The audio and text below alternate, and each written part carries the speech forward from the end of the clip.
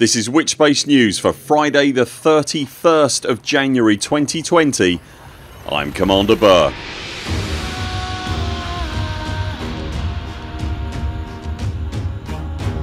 In this weeks news Low temperature diamonds get a visit from the Nerf bat Drew Wagar's Lore Tour gets dates and an itinerary and Frontier joins the Game Blast in aid of special effect.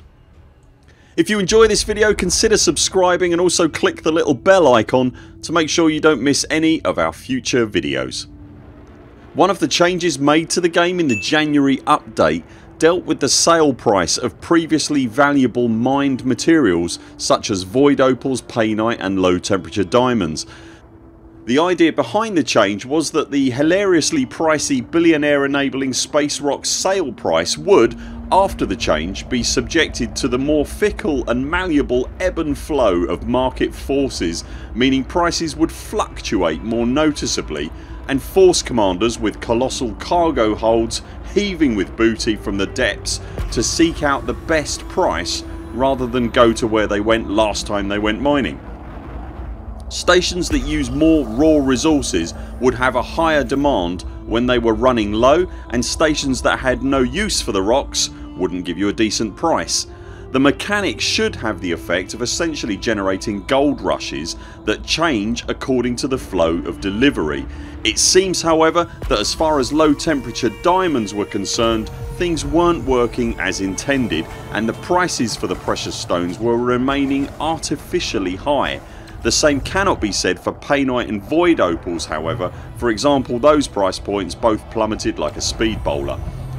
Frontier announced yesterday that they were implementing a fix on the very day this video is being recorded that will bring the low temperature market back in line. Cue collective screaming across the mining community. With such close community scrutiny of the market prices after the patch it became apparent that the price a station offered you for your precious cargo was reflected in how much of the commodity you had in your hold. The more of a given item you have the less you're offered for it. Frontier stated in their forum post on this subject yesterday that this was always the case but the large amount of feedback they'd received on that particular aspect of mining will be passed back to the team responsible for it.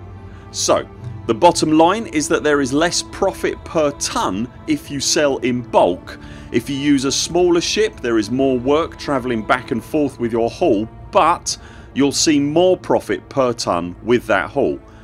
It remains to be seen later this year what effect if any mining themed fleet carriers will have on all of this. You could argue that there is room here to park a fleet carrier with a hold full of goods in a system and then ferry smaller loads back and forth in a service ship like a Type 6 or a hauler to maximise the value of the total haul we still don't know what extra features carriers will bring in any regard but we did speculate about this very thing in the video that is linked on screen right now. Renowned elite author and loremeister Drew Wagar has published the itinerary and details for his Lore Tour expedition that is setting out on the 2nd of April and continuing weekly through to the 18th of June. The tour will take in notable sights and sounds in the backstory of Elite and its many years of events and story with each stop on the way being highlighted by a live stream from Drew and a guide to the lore of the week.